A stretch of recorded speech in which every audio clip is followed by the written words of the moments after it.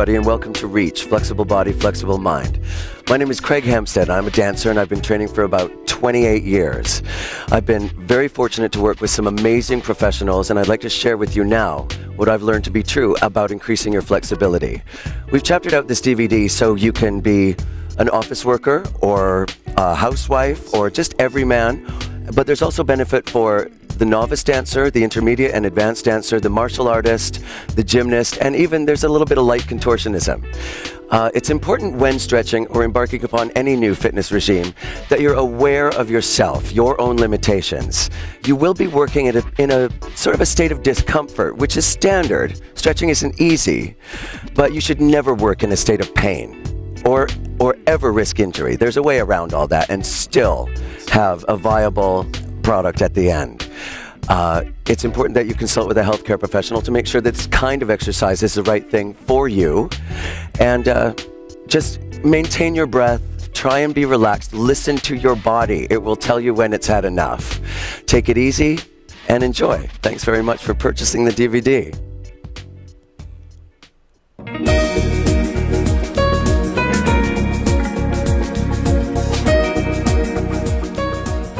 Right, if you're like me, sometimes you're stuck on a plane, transoceanic flight, it's endless. You get stiff, you get tense, or maybe you're sitting behind a computer monitor all day, hunching over the keyboards. I mean, that's our lifestyle today. Here's a couple of things you can do that are not necessarily even dance related that can take some of the tension out. Say you're stuck in the middle seat on that, you know, you're going to Europe or wherever you're going. There's a few things you can do. You can simply just roll out the neck and lift as you go to the back. Try not to compress. Just roll it out gently from side to side. If you maintain a rigid abdomen in the base and let everything else move away from there. That in itself is going to take off a lot of tension in the neck and the shoulders. You can do a forced shrug and drop it. Simply just shrug and drop it. That brings some blood into the area, works it out. I like to pull one elbow into my chest it stretches the muscles, the anterior deltoid across the back. Just feels good, opens it up because tension tends to reside here in the upper back on me. I don't know if you're like me, but this feels good just to do that. And if you have the room, you can pull the elbow around the back of the head, still keeping the abs tight, gently, gently releasing some of the tension in the shoulder. Uh, Shoulder rolls, shoulder shrugs, always great to relieve tension. If your lower back's getting a little tight, what you can do is gently cross one foot over and just take your weight gently forward. There's the piriformis muscle in the back, in the seat and the lower back, and that can tense up if you're rigid in a seat for any amount of time. Just by gently pressing forward, keeping the knee open in the hip. Make sure this doesn't stress out the inside of your knee. This should, you should feel the benefit of this here in the back. Gently and up, simply rocking forward, and back, and that's going to take a lot of the stress out of your lower back. You'd repeat it on the other side. Symmetry is important when you're stretching. I believe that everyone has a preferred side, but it's important not to favor that. Why work your strengths when you can, you know, compensate by working your weaknesses? If you have one leg that's a little bendier, sure, stretch it, but pay extra attention to the one that isn't. There are things you can do as well. Just here, pulling the knee into the chest, which takes the hamstring all the way up the lower back Breathe in and let it go. This is stuff you can do seated in a confined space, and it takes the tension right out. You'll feel a lot better. In and out. It's important to keep breathing throughout. An oxygenated, oxygenated muscle is a happy muscle, just so keep it up. You can repeat these exercises until you feel the benefit. There are things you can do, just rolling, rolling the ankles, rolling the shoulders, rolling the wrists. Everything will be fine. Maintain a tight core, and then afterwards, you have this entirely relaxed countenance.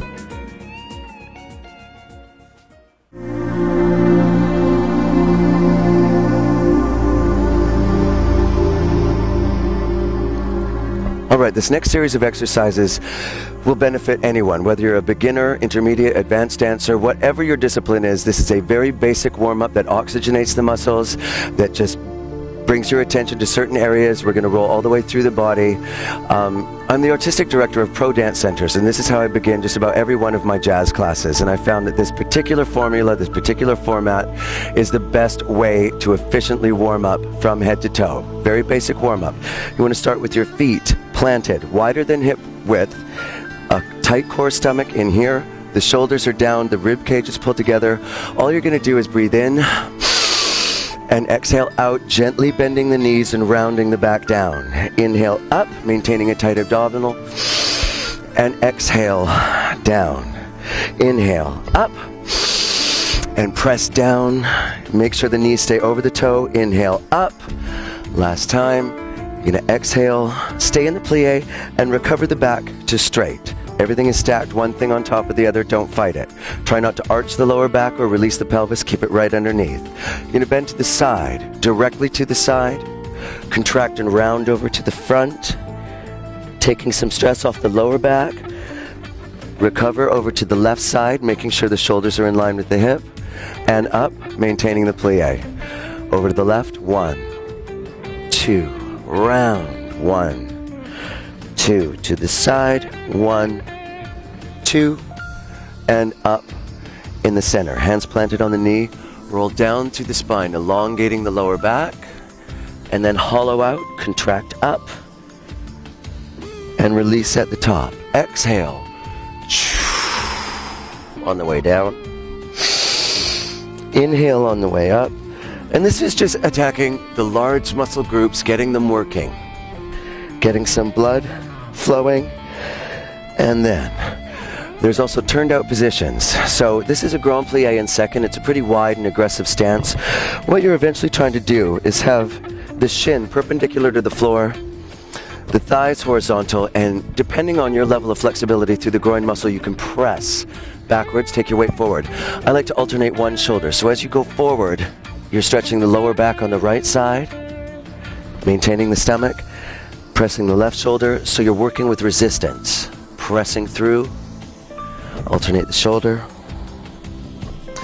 and alternate the shoulder, and bring the feet back to parallel and gently round up through the spine.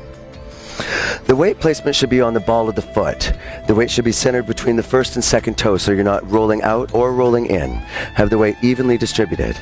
The next thing you're going to do is roll down from the top of the head to the floor, creating space in the back of the cervical spine, the upper back, rolling through, and gently releasing forward, maintaining a long neck. A lot of people want to tense up the back of the neck here. Not good. Remember, the spine goes all the way up to the skull and you want to lengthen forward. Bend the knee and gently stretch, keeping the weight forward on the ball of the foot. You can stabilize yourself with your hand. Gently bend the knee and again, lengthen, concentrating on the back of the knee being tight, the stomach working, and the back being relaxed and long. If you're feeling tension in the neck and shoulders, roll out your head and target it. Anything that's sort of bugging you, address it and bend the knee, and again, use the stomach to recover to a standing up position. Let me show you that in profile. A lot of people doing this stretch are going to hollow out here and keep the pelvis intact. There is benefit to it, but eventually you would like your hips to become the pivot point of this stretch.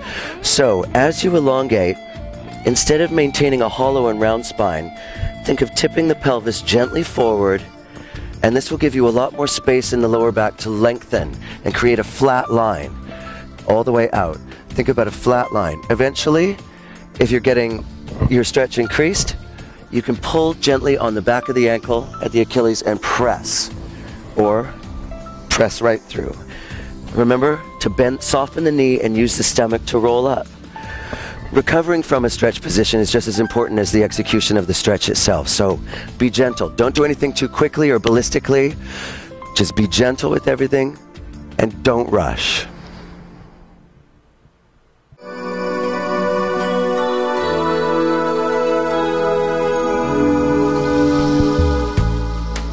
One of the things we do in dance class is called isolation, where you're just isolate, just exactly like it sounds, isolating different parts of the body. But this can be beneficial to everyone. Um, there are movements wherein you isolate the rib cage specifically, and there's sort of stability, stability muscles, stabilization muscles that come into play, and all contribute to your core strength. So you can start out. I just put one hand on the hip, one arm out to the side. Abs are tight, knees are tight, and I'm just going to press my rib cage to the side without moving my hip, and side add the arm. One and up, Increase the reach over to the right, pressing, keeping the core muscles tight. Two, and just a little press at the depth of your stretch right there. Other side to the left. One, and two. Take up the arm. One, and two. Inhale, exhale, and press at the depth of your stretch, feeling it in the side. Make sure that you don't pop the ribcage forward during this. You want to maintain a straight body. Unless something terribly wrong happened, everything is stacked one thing on the other. Let it stack naturally. Don't fight the natural line of your body. Head isolations, just front, center, up, center, down, center, up. Same thing to the side. One, two, three, four, creating space so you're not crunching. Seven, eight, isolate right, and side, and side and side. You can start with a half of a head roll down the front and up, down the front and up, and then crease it all the way around. It's important to remember that when you go to the back that you're not collapsing the neck, but you're rather reaching out and back and all the way around. Maintaining stomach, up and around. If there's residual movement in the shoulder, that's fine. You can eventually add the shoulder into this. The greater your range of motion becomes, you can add into it. I like to soften the knees, taking it full circle all the way around. Okay? There are other things when uh, we bent over and did this flat back stretch, for example. You can um, exaggerate the stretch a little bit, trying to maintain a square hip on the top and take your weight over to one leg or the other, making the neck long. And again, pressing through the lower back, keeping the weight forward on the ball of the foot. You walk the hands through center. Feel, sense the back of your knee. Is it tense? Is it locked? Is it straight? Is there pressure in my lower back? Am I hunching my back? You want to release the pelvis forward and relax over. And again, back in the center, to the side. For an additional stretch, you can bend the opposite leg to the one that you're concentrating on. It gives a, it targets the inner thigh muscle. And again, walk gently through the side, going over to the other, bending the back knee, relaxing the neck and shoulder in the center. Remember to maintain your breath. And as you curl up, soften the knee, use the stomach, and reestablish your full and upright posture.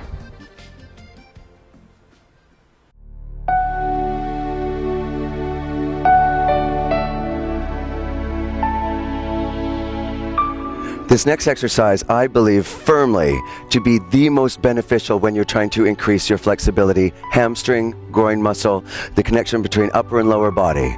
If you do this efficiently and you do this consistently, you will see benefits within one month. I swear. I've seen it happen. I've taken kids from zero to 60 inside about three months in a split position.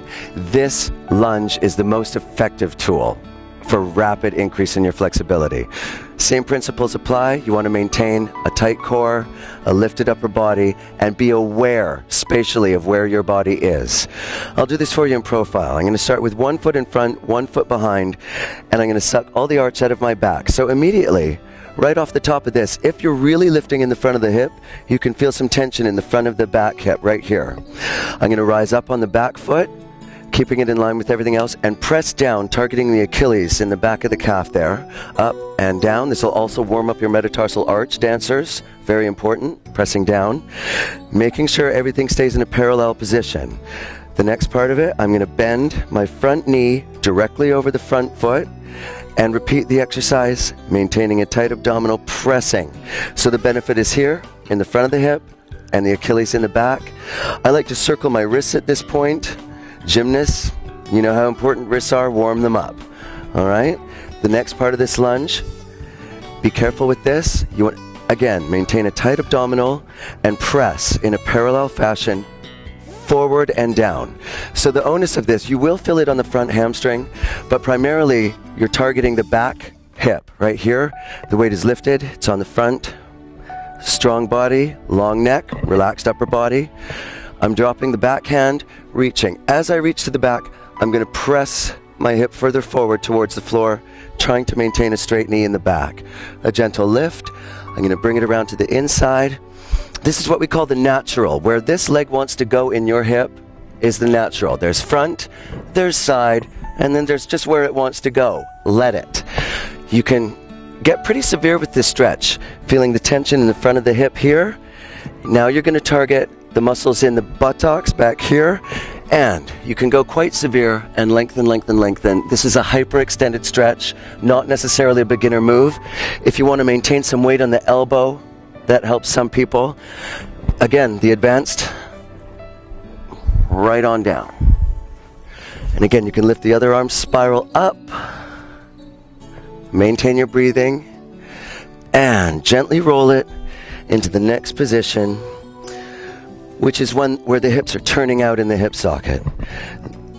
The straight leg, maintain some tension. You can reach with the foot.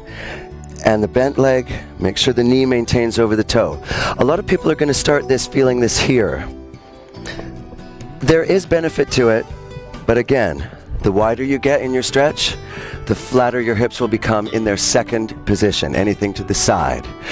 If this is a bit too much for you, take some weight up on the hands or take some weight backwards until you can feel this open feeling in the hip. For an additional stretch on the hamstring of the working leg, you can flex the foot, press the knee open over the toe, and relax the body forward. Keep breathing. I'm sort of rushing through a few of these positions. At your leisure, take the time that it needs to fully benefit. They say you want to hold each position for about 45 seconds and try and relax into it. Rather than working it and being tense, breathe and relax into every position. The next one, I'm going to roll back to the lunge position, drop my knee on the ground, and walk the body back up. From here, I can press Again, for the front of the hip, if you want to take the weight off, right there. Keep a long neck, everything is fine, abdominals are tight, and the more you press into that hip, you're going to feel it. Remember, when you're working towards a split position, it's not just the front leg that's at work, it's the back leg as well. So you have to have equal length, the front hip and the working hamstring. If you want to bump this up a notch, this stretch. Take the weight forward on one hand, reach back with the other, and gently pull the foot into the seat. This is going to target the quadricep muscles in the front. Uh, gently. You're going to feel tension in there. Most of these muscles aren't used to being elongated this way. Gently, gently, gently press. And release. Walk the body back up. And again, we're going to try and straighten both legs. Here, I'm going to roll up for a second. What's going to happen? Here's your starting position. This is exactly how we started the lunge. We're going to take this a step further by taking the weight over the front leg. And again, it's important that you don't crunch the back of the neck. Allow it to elongate. No tension. If anything is working, it's the stomach, the seat for your balance, and if you want to press a little pressure into the back of that knee, good call. If you're not feeling that this is being of any benefit, you can flex the front foot. I guarantee you'll feel it then. Try and maintain a square hip so you're not rolling sideways, but the entire back is elongating down. I like to just remind myself and go from the lunge, pressing, working the back hip, to the front hip. Lengthen the back of the knee. Pressing down, maintaining a strong abdominal, and gently elongating over the front. You repeat this a few times, pressing down. One, two, and stretch. Relax the neck and down, concentrating on the back hip and pressing concentrating on the front knee. Good. For the more advanced student, um, it's not necessarily about just achieving flexibility, it's about maintaining that flexibility in any position. So it's not just about kicking your leg up, but holding your leg up as well. So we're building a range of motion in order to be utilized rather than just be present. So I give my some of my advanced dancers go from coupe, a fondu position, which is a ballet term, to elongating to two straight legs. And gently bring the leg in. You'll notice that this is not a kick, it's not a fast movement, it's a slow and sustained movement where you're working at the peak of your range and forcing the muscle to be not just flexible but efficient. And down, you can lift the heel and press up. And again, when rolling up, feet together, curl up through the spine, and reestablish your upright posture.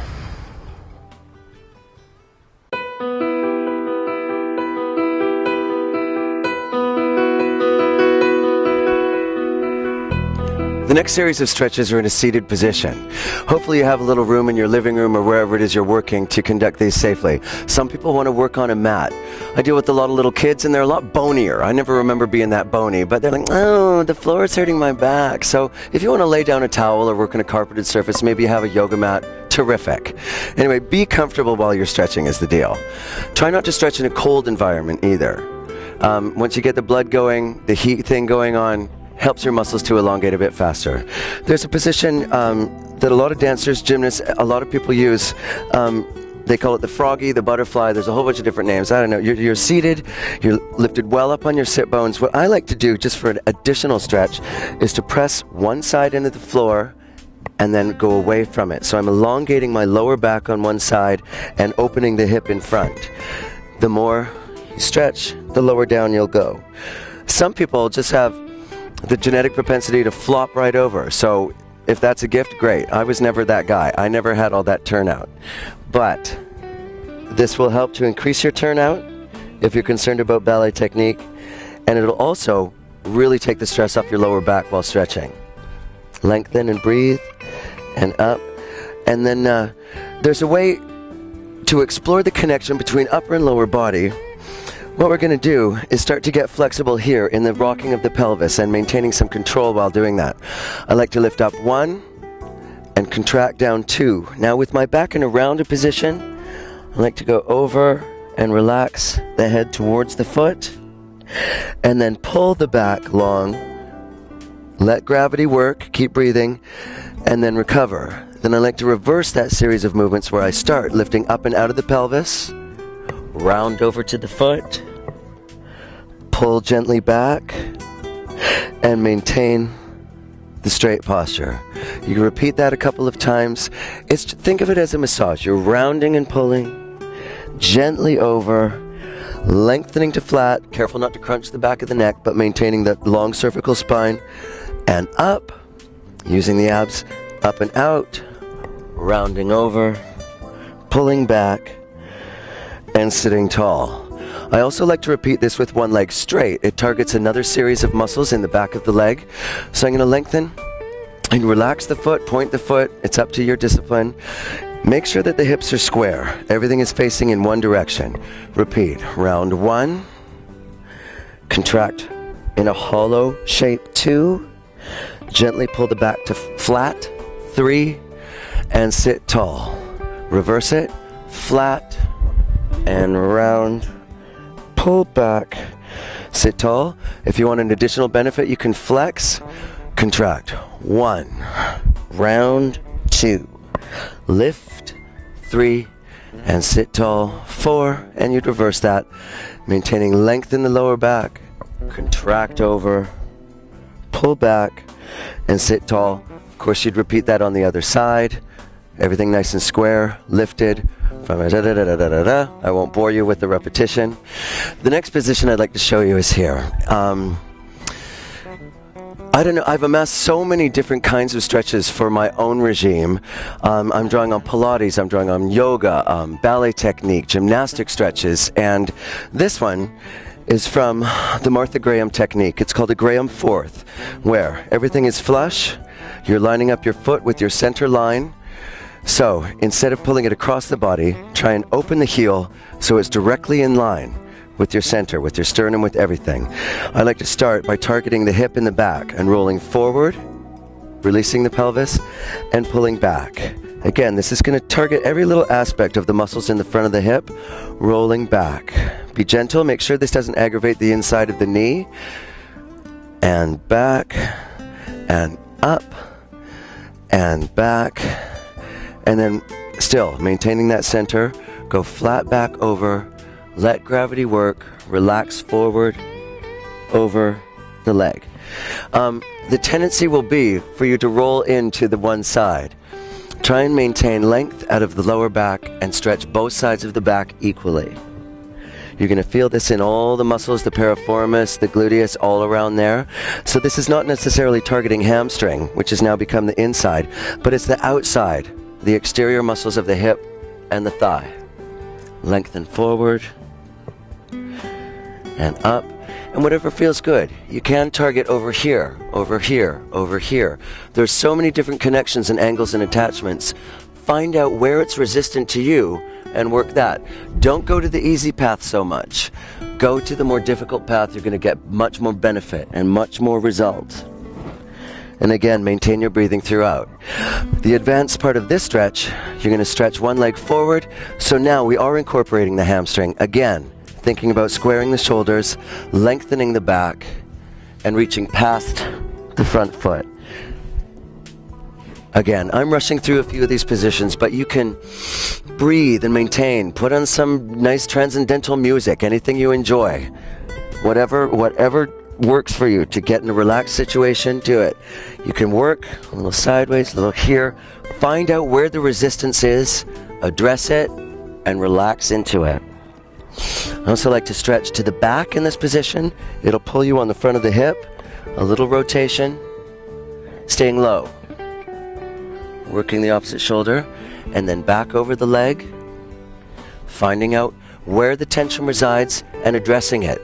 Play with the angle of your hip, the length in your lower back. Keep breathing. The next position is relative to the hip socket. This is now to the side I'm going to sneak my right arm in front and do a side bend over the working leg. My left side is completely relaxed, letting the head go. Try not to drop forward, but definitely side. Dancers, gymnasts, anyone with a bit of an advanced stretch, think of pressing your pelvis forward and lengthening even farther over the leg. The next position, again, this is all relative to the hip, the upper body, and lower body pivot point, the hip. Relax forward, lengthening the lower back. Trying to maintain a turned out position on the working leg and a long, straight path directly out from your own hip bones. And keep breathing. I like to use my hands to come out of any severe position so you don't stress out the muscle on the way up.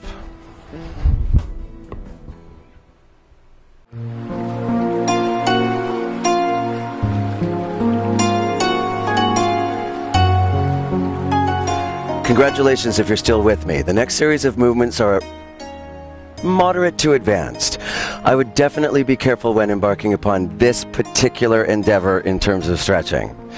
Uh, they're a little bit severe, but again, there's benefit for the person who hasn't really increased their range of motion. So, what you're going to do is just start lying on your back. When you're doing these laying down positions, you want to create space in the lower back. You never want for there to be light underneath here. So maintain a, a strong abdominal. And again, it's important that the cervical spine, the neck area, is also elongated. I like to start by tucking my chin, feeling that length, and maintaining it as I rest my head on the floor. We're going to work one leg at a time. But as you're working one leg, you also want to maintain a straight leg on the bottom, a little tension in there. There's no particular benefit or shortcut to grabbing one leg and having the other one come with it. So, elongate the bottom leg, start by gently grasping over top of the knee, long neck, long back, and you're just going to circle the ankle. This is going to help you strengthen and create some range of motion in the ankle, which is conducive to a safe landing in jumps to quick footwork and dance, that sort of thing. Ankles are very important. Just rolling one way, rolling the other way. You might feel some clicking and crunching if you're old like me. Don't panic, that's natural. And the next thing from here, you're going to take the foot to the inside of the opposite knee and gently do a spiral stretch. The goal being that your right knee goes to the ground and your right shoulder stays on the ground. You're spiraling through the lower back. You can take your head to the back arm as well, so the entire spine is engaged. And then pull it back into the chest and let it go. Find that square position again. You would repeat this exercise on the other side, rolling the ankle, taking in the knee, spiraling out, bringing it gently back in. You can create a little tension here. Pull. It's going to target the hamstring and down.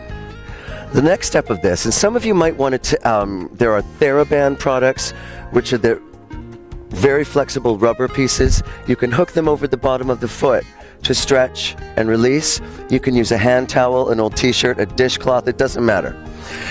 Until you get the range of motion, do whatever works for you. If you have achieved a certain range of motion, then we take the bottom of the heel and gently stretch, trying to keep it in line with the nose. We talked about the natural, where it just wants to wander out in the hip socket. Try and resist that. Then you're going to bend gently in, maintaining length on the bottom leg, pulling the knee towards the center, the heel towards the center, and gently stretch targeting the hamstring. Think of locking out the knee, bending, pulling straight down. There's no particular benefit to just releasing the heel and letting it go. Think of pulling actively into the center, stretching up at the top. As your range of motion increases, one, two, you can take this wherever the hamstring will allow. It'll keep going and going and going. Gently bend. Gently stretch wherever it works for you. There's a way you can also target the second. I like to take the same arm as leg, maintaining a long spine, long supporting side. Gently open the leg to the side without disturbing the line of the hip. The more your range of motion increases, the closer this leg is going to get to your ear. And again, pulling the heel, tension on the hamstring, gently stretching, concentrating on the back of the knee and in. There's also another one where once you're at the top, extending here, if you pull it across to the opposite shoulder without lifting the lower back and pulling it in, there's the IT bands on the outside of the thigh. This is killer. This is really good. The longer these get, the better it'll be. So you've got groin, hamstring, and the entire IT series over here, all of which need some attention. So just, again, listen to your body, feel every, aspect of the connection of this leg to the upper body, all the connections surrounding the hip. And maintain your breath throughout and relax and let it go. And of course, you'd repeat this on the other side. Pulling the knee in, gently up, working down, working to the second, pulling across to target the outside aspect of the leg, and relax. Make sure there's no tension in the neck and shoulders. And at the end, I like to just pull my knees into my chest, takes the tension out of the lower back. Good for the digestive tract. In, and work one at a time, one at a time, and relax. And uh, you're going to see a great benefit. Targeting your hamstring, that's going to do it.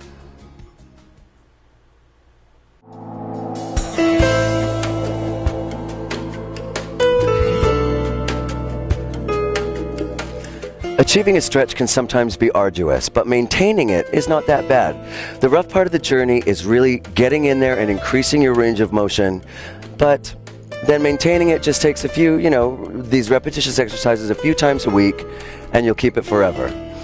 Uh, I'd like to show for you, uh, display a few things about uh, the second position. There's several ways to stretch the second position.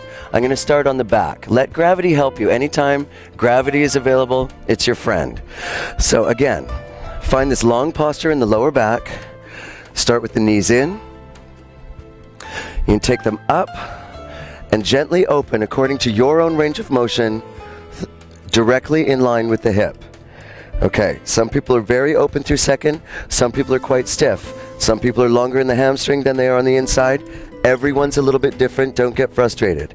If you can keep a long neck and a long lower back, some tension in the knee, let gravity work, you're golden. The next thing you can do to increase this range actively is to firmly grip the heel, keeping the back and neck long without lifting the pelvis off the floor. Create some tension and pull the leg to the desired range of motion. There are things you can also do, just maintaining the second position and incorporating the abdominal. So what's happening is uh, you're sort of taking your mind off the fact that your groin muscle could be hurting or a little discomfort, and you're working the core muscle, the abdominal, lifting the shoulder blade off the ground, maintaining your breathing, and up Abs are another thing. I don't think I have to give you an abs 101. Everyone knows how to do an ab, lowers, uppers, obliques. Get that video separately. I'm concerned with stretch. Another way to increase your motion in the second position is to start with the legs to the side. Okay?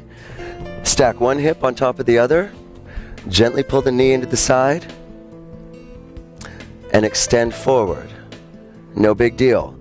The more you increase your range of motion, I like to reach in front of the thigh, behind the heel, out to the side, and gently extend without rolling the hip back in the socket, but maintaining forward and gently lengthening.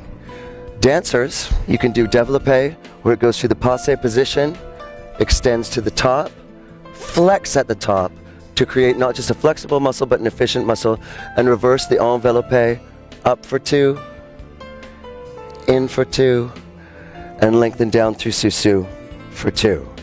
All sorts of things you can do. Another way to target the groin muscle, the second position. This is a little bit severe, not necessarily for the beginner, but starting with your knees directly underneath your hips, start to open them to second, and maintaining a tight abdominal, press down and make sure that the knees, again, are level with the hip socket. You can lengthen the lower back, play around with the angle. I like to lean from side to side. And you may find yourself in a position here. You might want to cushion the knees so there's no tension. But this will really help to open up the hip socket. This is, in fact, a grand plie in second in terms of ballet technique. I like to flex my feet, lengthen the spine, contract the abdominals, and pull the hips under for maximum benefit. You can play with the angle, forward and back, find out where the tension is, address it, and try and relieve it. You can work side to side. Definitely feel that in the hip you're leaning towards, and in. And again, just to take any sort of tension off of this, you can relax. Child's pose in yoga is a great way to take all the tension off of the body Gently relax. If you like, you can pull the arms back and release that way. Remember, when you're doing these extreme stretches, be gentle.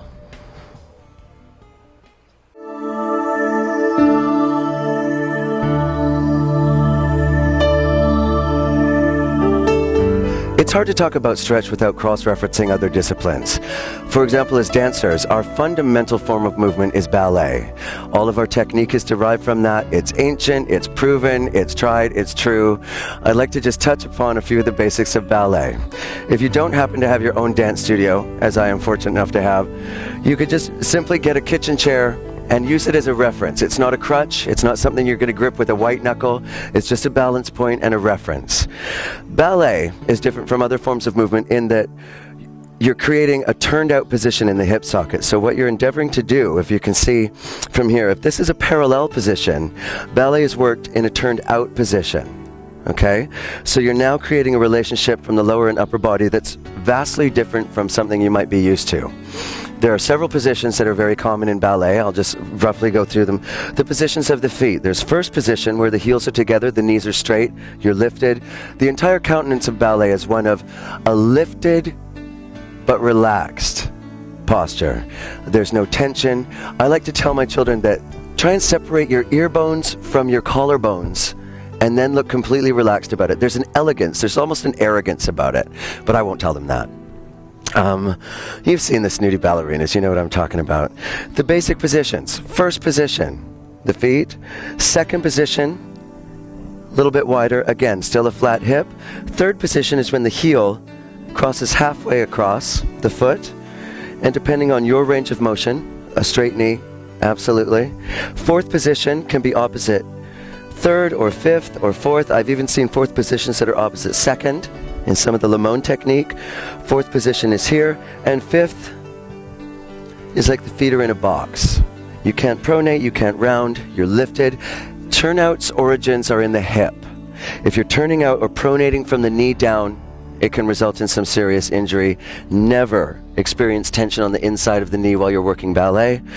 I know professional dancers who will save that particular kind of turnout for the stage. They'll work in class in a very relaxed posture, nothing too severe, and then they'll get on the stage and work it. So it's, you know, it's for selected moments that you're going to really exploit that turnout, unless it's very natural to you.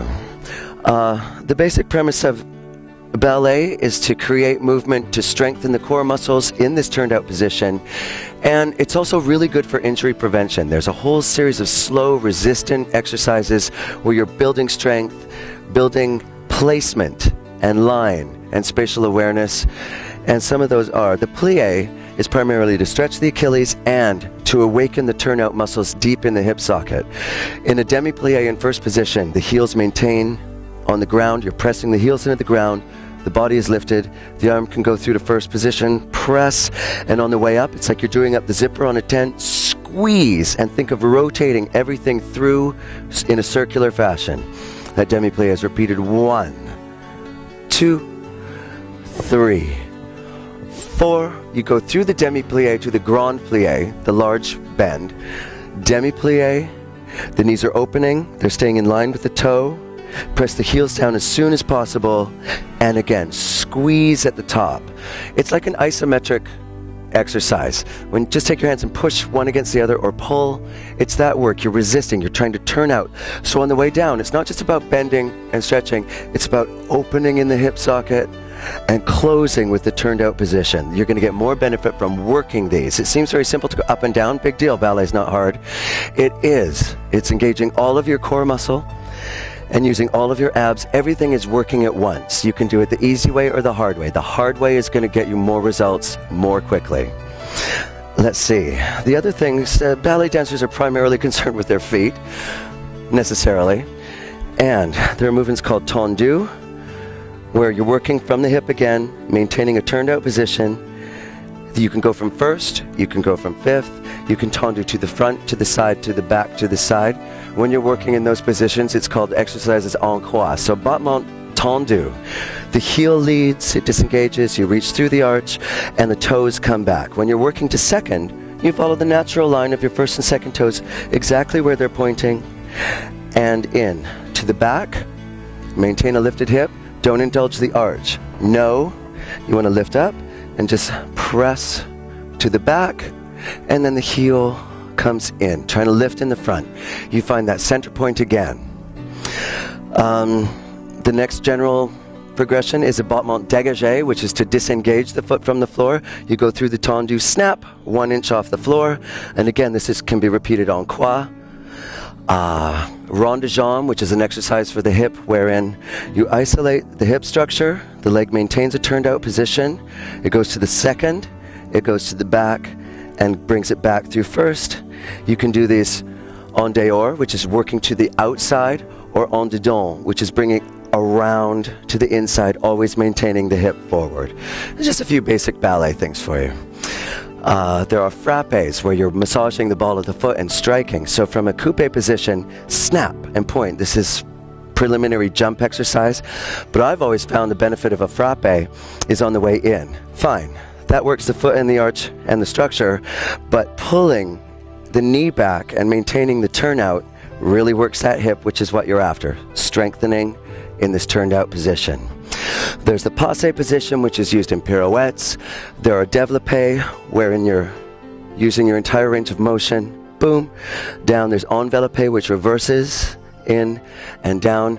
I'm not going to get too technical with you for ballet, but in these turned out positions, you may find that with your own body, you can more readily target the Achilles or the front of the hip rather than in a parallel position like the lunge. It just depends on your structure. But if you are embarking upon a serious career in dance, ballet, basics, fundamentals, everybody needs it. There's no way around it. Ballet is the basic form of all dance movement.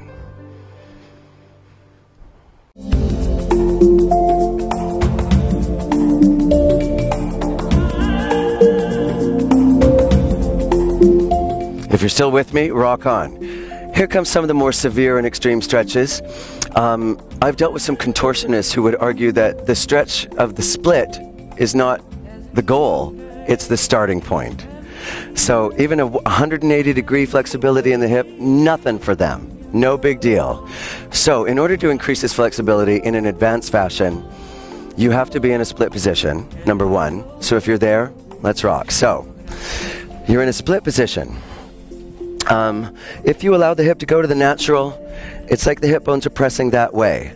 I learned from some very smart gymnasts and contortionists that if you pull up and pull the back hip into parallel and then press down, you're getting vastly more benefit from this stretch. Even at this point, I've seen people twist and pull. So instead of allowing the relaxed sort of position, you're bringing it through and forward. Even more into parallel, even in a turned out position, or turned in position, that hip is going to benefit radically from the stretch of this. You can flex the foot very, very gently, flex the foot. Um, you can pull the back leg in in this position to increase the strength and the stretch in the front of that hip, everything there. So again, even in these severe positions, find out what works for you, find out where the tension rests, and target it in a sensible way. Again, the benefit being maintain the position for a while. Let's talk about uh, increasing your second position. There's a way to do this while you're seated. Just um, find a relaxed posture again. Some people will find that their hip structure dictates that they're going to be hollowed and back. Your first goal is to get up on the sit bones and sit with length and authority right on top of them. You can do the side bends, side bends, inside, outside. I like to bend and flex, targeting the one leg. Uh, when you're doing these severe stretches, you'll find that you can actually change the structure of your knee, which sounds bizarre. But when I started, uh, I had straight legs. Subsequently, after years of stretching, with the increased length of the tendon, in the back and the ligament structure.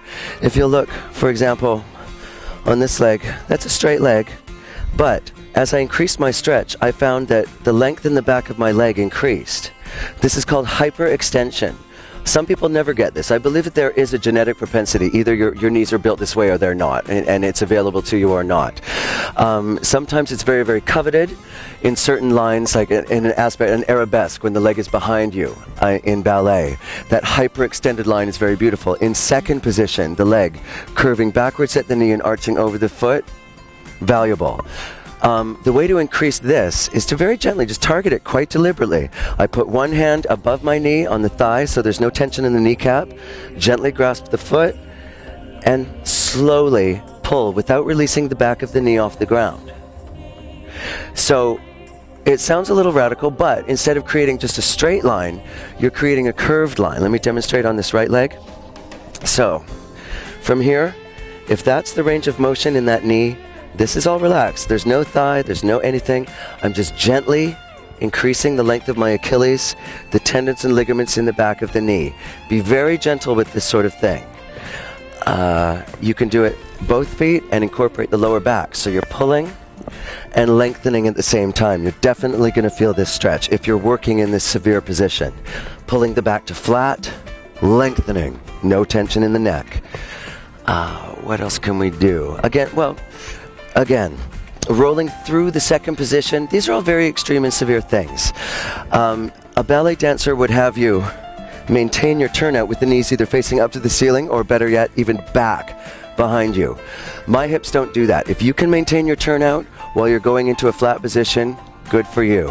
What happens for me, and the most benefit for me, I feel this in an upright position. I feel the length of the groin muscle, definitely, and I work to maintain my turnout and an upright upper body. The best stretch for me is with the legs still straight, out from the hip, directly in line with the hip. And now what I try to do is adjust my own hip structure to find out where that tension lies. I'm going forward gently and back with the rock of the pelvis. There's no partic- particular tension on the inside of my knee because I've increased the length of my groin muscle. Everything is cool. And again, vital to know the difference between discomfort, pain, and God forbid, injury. If you're doing these severe and extreme stretches and you hear this wet sort of popping noise, stop. It's not the way to do it. Okay? Just relax into everything, maintain the length, and keep breathing.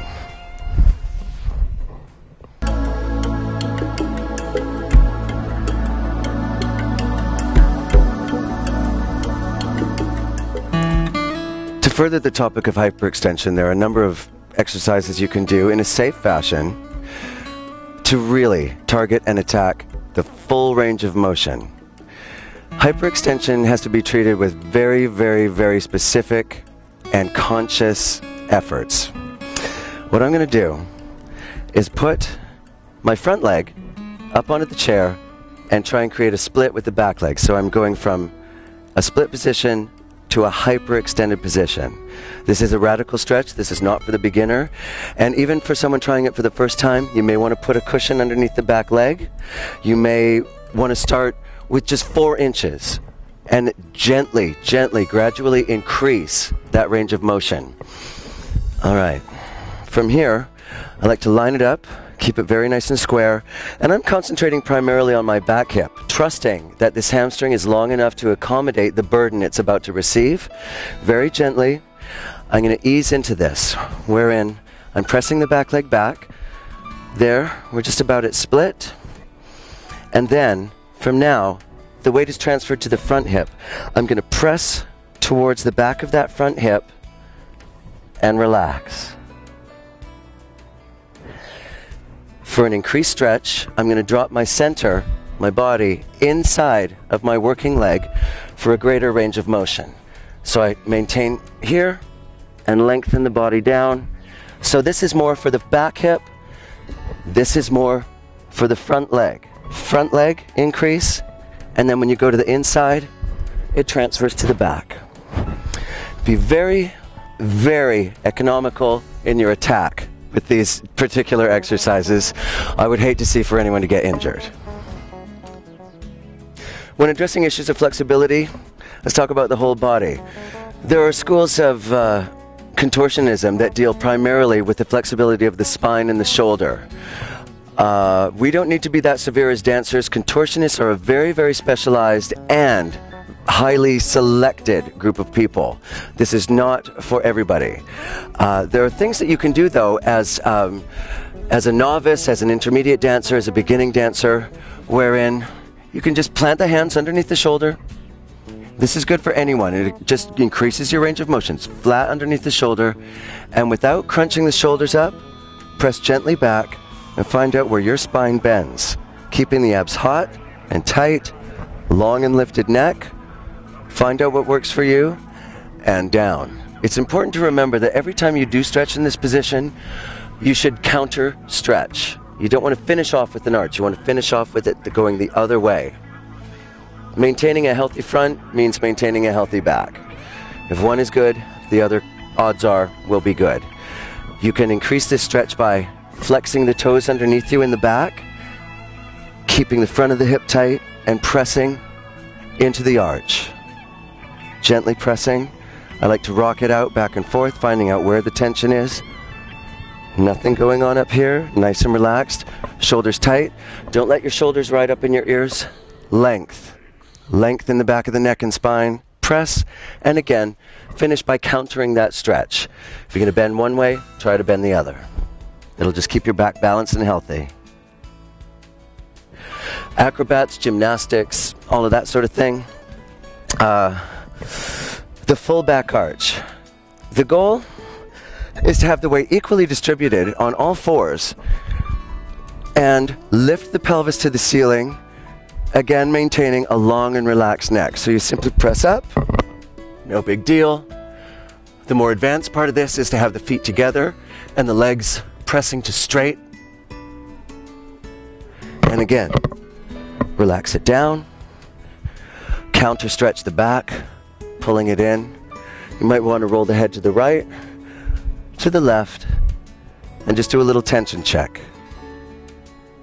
And again, I can't reiterate strongly enough that when you're stretching the back in an arch position, counter stretch the other way to maintain health. Continuing in the vein of the more advanced and severe stretches, I'd like to show you one that I include in my regime just to warm up my second position. This is when the leg is uh, relative to the body sideways. What I like to do is find a stable wall, approach it. Where is it? Lean against it. I'm going to plant my foot in a stable position underneath me.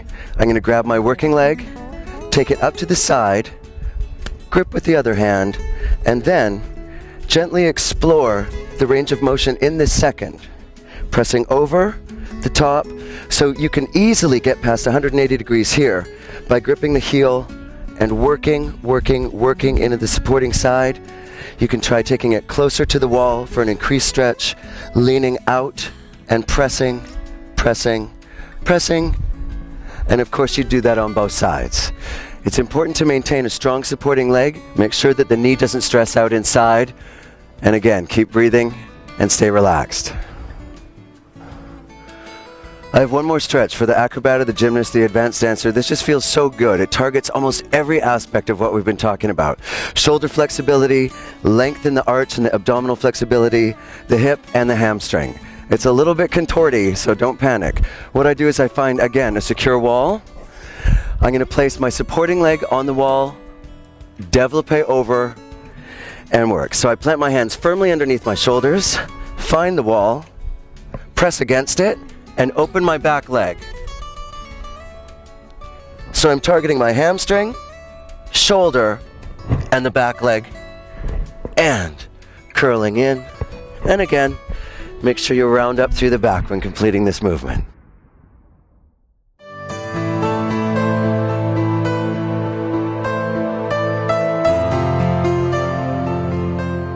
Well, that's about it. I hope you found something useful to apply to your own exercise regime. I'd just like to finish in, in saying that um, dance has been an amazing vehicle for me. It's taken me all over the world. And we've spoken primarily today about the physical aspects of dance. But consider for the moment that everyone was on an equal playing field in terms of their technique, their facility, their flexibility. What you have to include is a little bit about yourself. Don't be afraid to be vulnerable. Share your personality. Let your own individuality shine. Physicality is one thing, but your approach and your emotion and your investment and your personality, that's what's key. If you can find a way to use these two things in conjunction, there will be no obstacles if you've chosen to embark upon a path in dance or any athletic endeavor. If you're using this as primarily a recreational or, or stretching tool for your own benefit, I hope that you found that the content is informative and enough. Either way, I appreciate your time. I appreciate the purchase. Keep stretching, keep reaching. Thank you very much. My name is Craig Hempstead.